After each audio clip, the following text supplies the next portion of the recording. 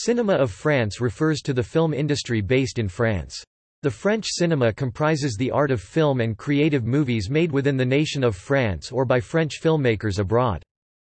France is the birthplace of cinema and was responsible for many of its significant contributions to the art form and the film-making process itself. Several important cinematic movements, including the Nouvelle Vague, began in the country. It is noted for having a particularly strong film industry, due in part to protections afforded by the French government. Apart from its strong and innovative film tradition, France has also been a gathering spot for artists from across Europe and the world. For this reason, French cinema is sometimes intertwined with the cinema of foreign nations. Directors from nations such as Poland Roman Polanski, Krzysztof Kieślowski, and Andrzej Żuławski, Argentina Gaspar Noé and Edgardo Cozarinsky, Russia Alexandre Alexeieff, Anatole Litvak, Austria Michael Haneke, and Georgia Géla Babluani, Otar Ioseliani are prominent in the ranks of French cinema. Conversely, French directors have had prolific and influential careers in other countries, such as Luc Besson, Jacques Tourneur, or Francis Veber in the United States. Another element supporting this fact is that Paris has the highest density of cinemas in the world, measured by the number of movie theaters per inhabitant, and that in most downtown Paris movie theaters, foreign movies which would be secluded to art houses, cinemas in other places are shown alongside mainstream Works. Philippe Binant realized, on 2 February 2000, the first digital cinema projection in Europe, with the DLP cinema technology developed by Texas Instruments, in Paris. Paris also boasts the Cité du Cinéma, a major studio north of the city, and Disney Studio, a theme park devoted to the cinema and the third theme park near the city behind Disneyland and Parc Asterix. France is the most successful film industry in Europe in terms of number of films produced per annum, with a record-breaking 300 feature-length films produced in 2015. France is also one of the few countries where non-American productions have the biggest share. American films only represented 44.9% of total admissions in 2014. This is largely due to the commercial strength of domestic productions, which accounted for 44.5% of admissions in 2014, 35.5% in 2015, 35.3% in 2016. Also, the French film industry is closer to being entirely self-sufficient than any other country in Europe, recovering around 80 to 90% of costs from revenues generated in the domestic market alone. In 2013, France was the second largest exporter of films in the world after the United States. A study in April 2014 showed the positive image which French cinema maintains around the world, being the most appreciated cinema after American cinema.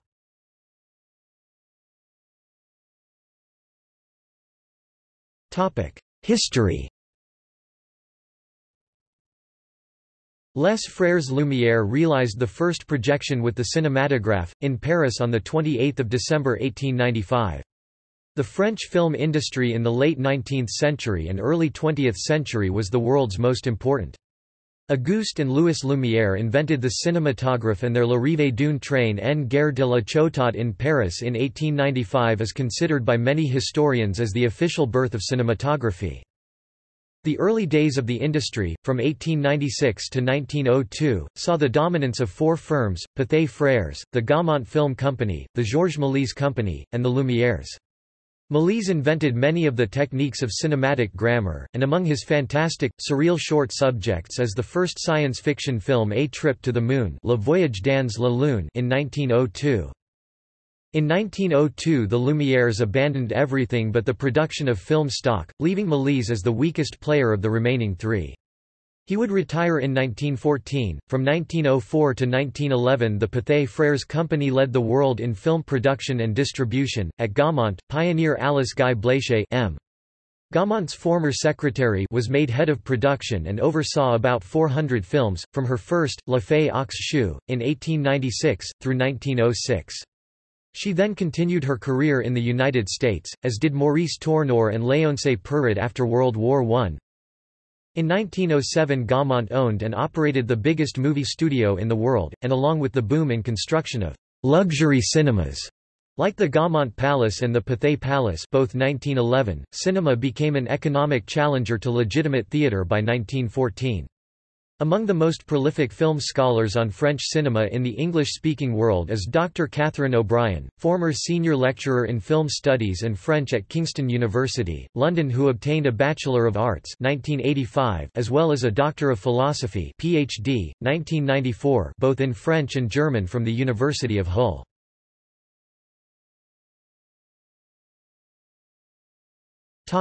After World War I After World War I, the French film industry suffered because of a lack of capital, and film production decreased as it did in most other European countries. This allowed the United States film industry to enter the European cinema market, because American films could be sold more cheaply than European productions, since the studios already had recouped their costs in the home market. When film studios in Europe began to fail, many European countries began to set import barriers.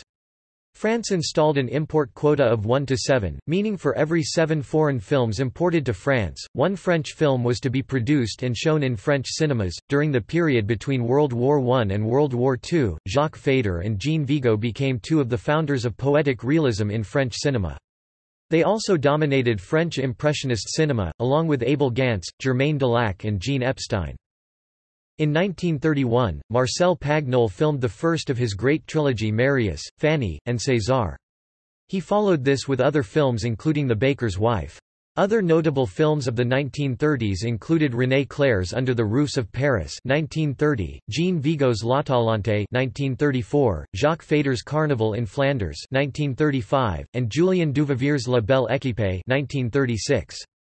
In 1935, renowned playwright and actor Sacha Guitry directed his first film and went on to make more than 30 films that were precursors to the New Wave era. In 1937, Jean Renoir, the son of painter Pierre-Auguste Renoir, directed La Grande Illusion, The Grand Illusion. In 1939, Renoir directed La Règle du jeu, The Rules of the Game. Several critics have cited this film as one of the greatest of all time, particularly for its innovative camera work, cinematography and sound editing. Marcel Carné's Les Enfants du Paradis Children of Paradise was filmed during World War II and released in 1945. The three-hour film was extremely difficult to make due to the Nazi occupation. Set in Paris in 1828, it was voted Best French Film of the Century in a poll of 600 French critics and professionals in the late 1990s.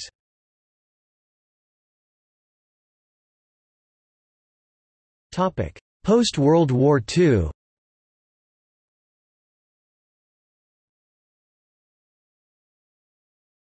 1940s to 1970s In the magazine Cahiers du Cinéma, founded by André Bazin and two other writers in 1951, film critics raised the level of discussion of the cinema, providing a platform for the birth of modern film theory. Several of the Cahiers critics, including Jean-Luc Godard, François Truffaut, Claude Chabrol, Jacques Rivette and Éric Rohmer, went on to make films themselves, creating what was to become known as the French New Wave. Some of the first films of this new movement were Godard's Breathless À bout de souffle, 1960, starring Jean-Paul Belmondo, Rivette's Paris Belongs to Us Paris nous appartient, 1958 distributed in 1961, starring Jean-Claude Brialy and Truffaut's The 400 Blows Les Quatre Cent Coups, 1959 starring Jean-Pierre Léaud. Many contemporaries of Godard and Truffaut followed suit, or achieved international critical acclaim with styles of their own, such as the minimalist films of Robert Bresson and Jean-Pierre Melville, the Hitchcockian-like thrillers of Henri-Georges Clouzot, and other new wave films by Agnes Varda and Alain Resnais. The movement, while an inspiration to other national cinemas and unmistakably a direct influence on the future new Hollywood directors, slowly faded by the end of the 1960s. During this period, French commercial film also made a name for itself. Immensely popular French comedies with Louis de Funès topped the French box office. The war comedy La Grande Vadrouille 1966, from Gérard Oury with Bourvil and Terry Thomas, was the most successful film in French theatres for more than 30 years. Another example was La Folie des Grandeurs with Yves Montand. French cinema also was the birthplace for many subgenres of the crime film, most notably the modern caper film, starting with 1955's Rififi by American-born director Jules Dassin and followed by a large number of serious, noirish heist dramas as well as playful caper comedies throughout the 60s, and the «polar» a typical French blend of film noir and detective fiction. In addition, French movie stars began to claim fame abroad as well as at home. Popular actors of the period included Brigitte Bardot, Alain Delon, Romy Schneider, Catherine Deneuve, Jeanne Moreau, Simone Signoret, Yves Montand, Jean-Paul Belmondo and Jean Gabin. Since the 60s and 70s they are completed and followed by Michel Piccoli, Philippe Noiret, Annie Girardot, Jean-Louis Trintignant, Jean-Pierre Léaud, Claude Jade, Isabelle Huppert, Anny Duperey, Gérard Depardieu, Patrick Dewaere, Jean-Pierre Cassel, Miou-Miou, Brigitte Fossey, Stéphane Audran and Isabelle Adjani. The 1979 film La Cage aux Folles ran for well over a year at the Paris Theatre, an art house cinema in New York City, and was a commercial success at theaters throughout the country, in both urban and rural areas. It won the Golden Globe Award for Best Foreign Language Film, and for years it remained the most successful foreign film to be released in the United States.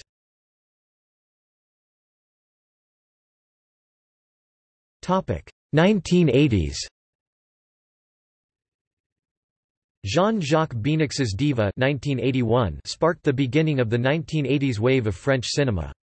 Movies which followed in its wake included Betty Blue 37 Degrees to La Matin, 1986 by Beineix, The Big Blue Le Grand Bleu, 1988 by Luc Besson, and The Lovers on the Bridge Les Amants du Pont Neuf, 1991 by Leos Carax. These films, made with a slick commercial style and emphasizing the alienation of its main characters, was known as cinema du look.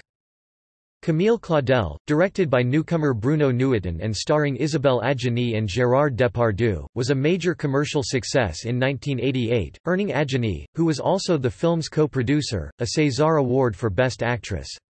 The historical drama film Jean de Florette and its sequel Manon des Sources were among the highest-grossing French films in history and brought Daniel Auteuil international recognition.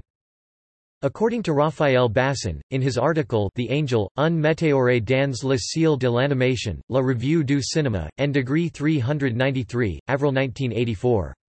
In French, Patrick Bokanowski's The Angel, shown in 1982 at the Cannes Film Festival, can be considered the beginnings of contemporary animation. The masks erase all human personality in the characters. Patrick Bokanowski would thus have total control over the matter of the image and its optical composition. This is especially noticeable throughout the film, with images taken through distorted objectives or a plastic work on the sets and costumes, for example in the scene of the designer. Patrick Bokanowski creates his own universe and obeys his own aesthetic logic.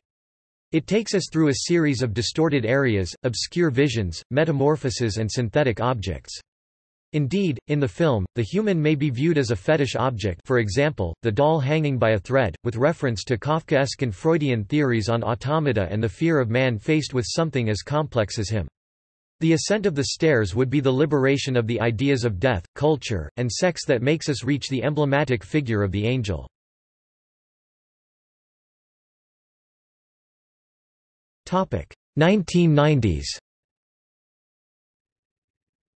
Jean-Paul Rappeneau's Cyrano de Bergerac was a major box office success in 1990, earning several César Awards, including Best Actor for Gérard Depardieu, as well as an Academy Award nomination for Best Foreign Picture. Luc Besson made Nikita in 1990, a movie that inspired remakes in both United States and in Hong Kong. In 1994, he also made Léon and in 1997 The Fifth Element, which both became a cult favorite and launched the careers of Natalie Portman and Milla Jovovich. Jean-Pierre Jeunet made Delicatessen and The City of Lost Children La Cité des Enfants Perdus, both of which featured a distinctly fantastical style. In 1992, Claude Sautet co-wrote with Jacques Fieschi and directed Un Coeur en Hiver, considered by many to be a masterpiece. Mathieu Kassovitz's 1995 film Hate La Haine received critical praise and made Vincent Cassel a star, and in 1997, Juliette Binoche won the Academy Award for Best Supporting Actress for her role in The English Patient. The success of Michel Ocelot's Kirikou and the Sorceress in 1998 rejuvenated the production of original feature-length animated films by such filmmakers as Jean-François Laguionie and Sylvain Chomet.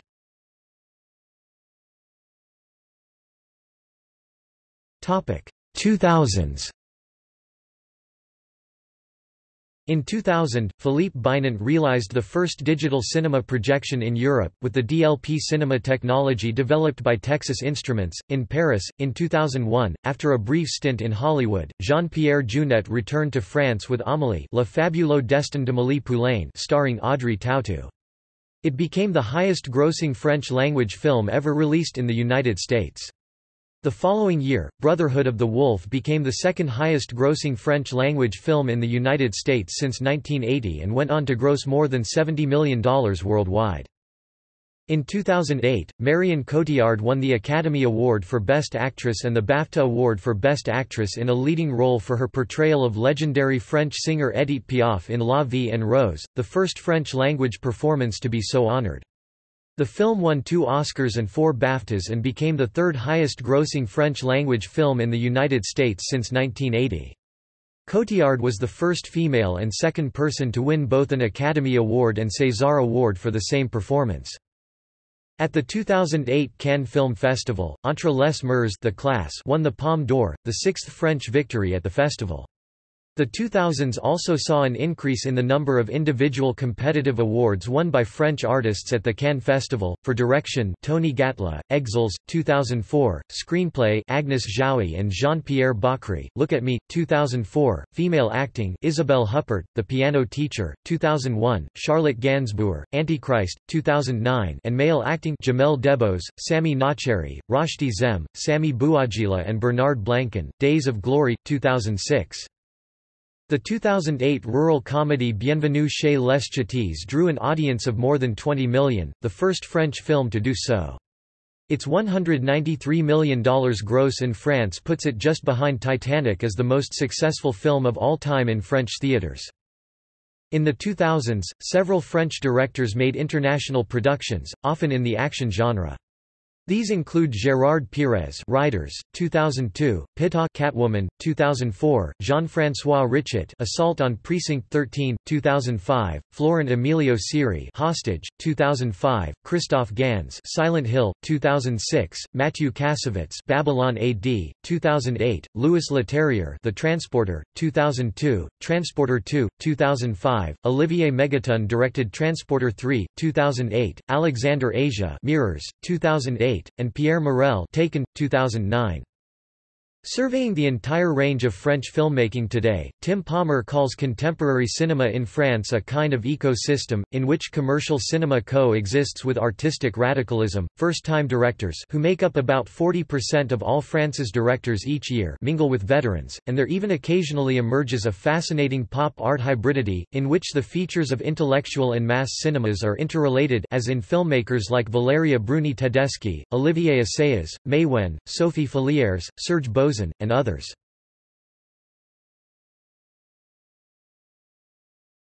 Topic 2010s. One of the most noticed and best reviewed films of 2010 was the drama of Gods and Men Des Hommes et des Dieux, about the assassination of seven monks in Tibhirine, Algeria. 2011 saw the release of The Artist, a silent film shot in black and white by Michel Hazanavicius that reflected on the end of Hollywood's silent era. French cinema continued its upward trend of earning awards at the Cannes Festival, including the prestigious Grand Prix for Of Gods and Men 2010 and the Jury Prize for Polisse 2011, the Best Director Award for Mathieu Amalric on Tour 2010, the Best Actress Award for Juliette Binoche Certified Copy 2010, and the Best Actor Award for Jean Dujardin The Artist 2011. In 2011, the film Intouchables became the most watched film in France including the foreign films. After 10 weeks nearly 17.5 million people had seen the film in France. Intouchables was the second most seen French movie of all time in France, and the third including foreign movies.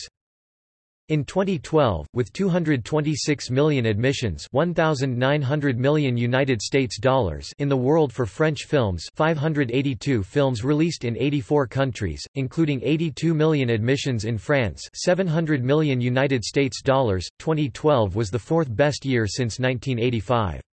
With 144 million admissions outside France 1,200 million United States dollars, 2012 was the best year since at least 1994 since Unifrance collects data, and the French cinema reached a market share of 2.95% of worldwide admissions and of 4.86% of worldwide sales.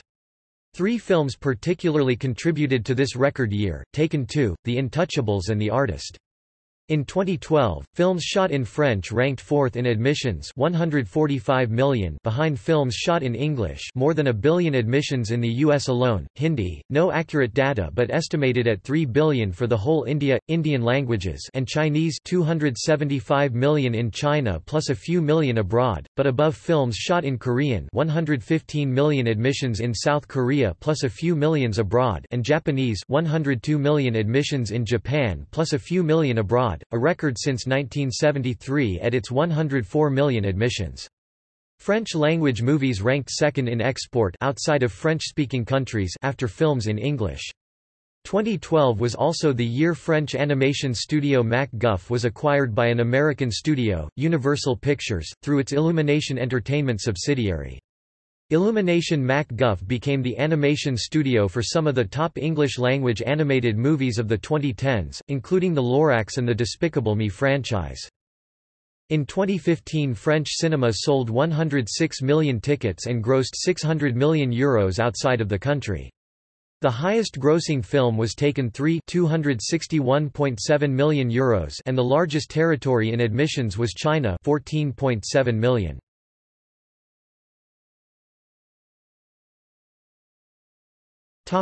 Government support As the advent of television threatened the success of cinema, countries were faced with the problem of reviving movie-going. The French cinema market, and more generally the French-speaking market, is smaller than the English-speaking market, one reason being that some major markets, including prominently the United States, are reluctant to generally accept foreign films, especially foreign language and subtitled productions. As a consequence, French movies have to be amortized on a relatively small market and thus generally have budgets far lower than their American counterparts, ruling out expensive settings and special effects.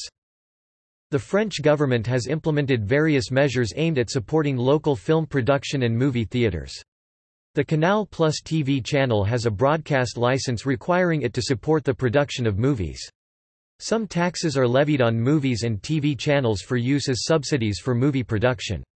Some tax breaks are given for investment in movie productions, as is common elsewhere including in the United States. The sale of DVDs is prohibited for four months after the showing in theaters, so as to ensure some revenue for movie theaters. Recently, Messerlin and Park 2014, 2017 described the effect of subsidies in the French film industry.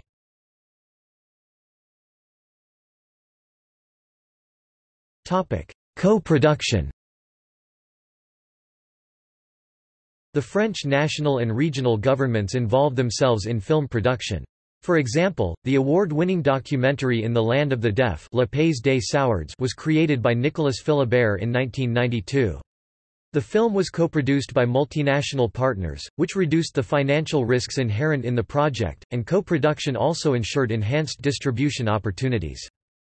In Anglophone distribution, In the Land of the Deaf was presented in French Sign Language (FSL) and French, with English subtitles and closed captions.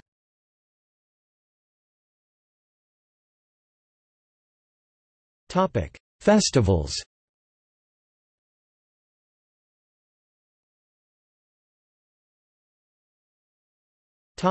Film distribution and production companies. Notable French film distribution and or production companies include Ad Vitam Alfama Films ARP Selection BAC Films Diaphana Films EuropaCorp Gaumont Haute et Court KMBO Le Pacte Les Films du Losange Mars Films MK2 Pan-Européen Pathé. Pyramide distribution. Rezo Films. S&D Films. Studio Canal. UGC Wild Bunch. Topic. See also. Cinema of the world. List of French films. List of French actors. List of French directors List of French-language films.